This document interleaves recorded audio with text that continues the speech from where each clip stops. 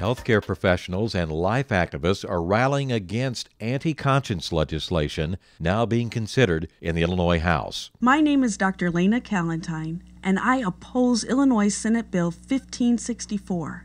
And I urge you to contact your state representative to vote no on this dangerous bill. Dr. Callentine is a pediatrician who volunteers at a Christian medical clinic in a southwest suburb. She and other members of the Christian Medical and Dental Association contend that State Senate Bill 1564 would force pro life health care workers to promote abortion. You're asking me to act against what I believe in and asking me to refer a patient for something I don't even condone.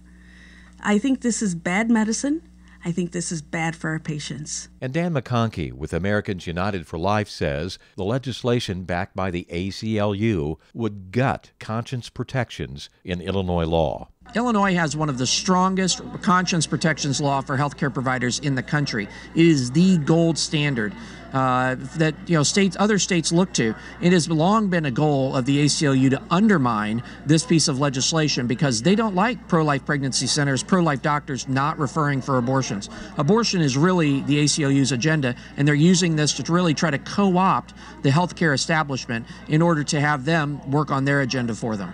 So essentially, this is a pro abortion bill.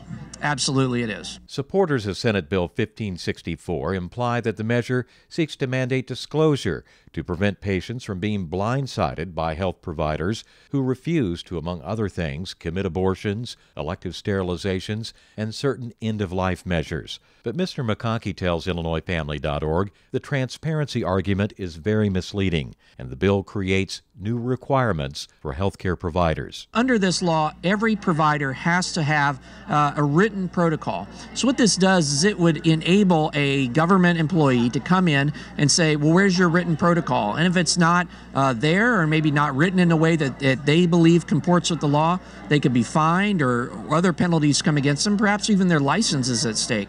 So, this is not just a, an attack on them, but it's also a, an expansion of government control. Even pro life crisis pregnancy resource centers would not be immune from Senate Bill 1564. While they could continue to offer pregnancy testing, prenatal care, and ultrasounds, they would be forced to discuss the so called benefits of abortion and provide information on where to obtain abortions. This is something that would really be handing a tool to enemies of life, the enemies of pregnancy centers, and the positive work that they do for life, and enable them uh, to come in and dramatically change the way they do business or shut them down completely. And Dr. Callentine predicts that if Senate Bill 1564 becomes law, it will be a big barrier to practicing effective medicine in Illinois. The whole process of practicing medicine has to do with our our philosophical beliefs and our religious beliefs. And to act against that would no longer be able to practice medicine the way that um, we were trained or what we spiritually believe is true. The measure was approved in the state Senate, and now Senate Bill 1564 awaits action in the Illinois House. People need to contact their own representative. They need to tell them that uh, Senate Bill 1564 is something that they should not be supporting. Uh, they also need to be reaching out to the churches. Unfortunately, uh, there are some aspects of the Catholic Church that are currently neutral on this bill instead of opposing it like we really wish that they would. Uh, so, this is something that we're going to need everybody involved with in order to try to stop this. The, the legislators need to understand that the people want to have a freedom of choice to be able to go and choose a pro life doctor, to be able to go uh, to a provider that doesn't do or refer for abortions, uh, to be able to get their health care from. The, the people of the state really do, eh, be, deserve to be able to choose the provider they want to have. Contact your state representative. The Capitol switchboard number is 217 782 2000. For IllinoisFamily.org, I'm Monty Larrick.